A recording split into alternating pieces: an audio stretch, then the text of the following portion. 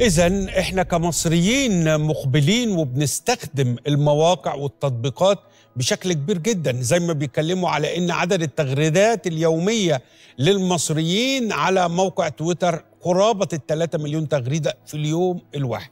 هروح ليه شبابنا في الاستوديو علشان أسألهم إيه أهم التطبيقات اللي موجودة على التليفون بتاعكم؟ وأغلب التطبيقات عندكم هلس يعني ولا في تطبيقات جدة اتفضلي. دعاء صلاح من محافظة الشرقية. آه، أهم التطبيقات على موبايلي الواتساب وال- والفيسبوك وبرنامج صلاتي. آه، بس هما دول اللي عندي. طب ما فيش أي تطبيقات تانية؟ يعني جيمز ألعاب يعني؟ لا ما. بحملش. طيب. أنا منزل أغاني ومنزل آه، آه، قرآن كريم بصوت بعض الشيوخ المصريين القدامى. يعني حاجة بهذا الشكل ومنزل games على موبايلي. لما أكون قرفان في الشغل كده أو هخلص بعد شوية زي ما بخلص معاكم هقعد ألعب games طيب اتفضل.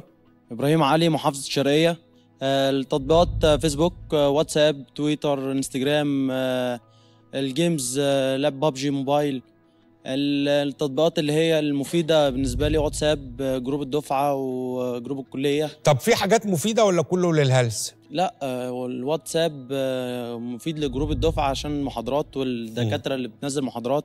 وبرضه فيسبوك مفيد تبع الكلية في جروبات تبع الكلية.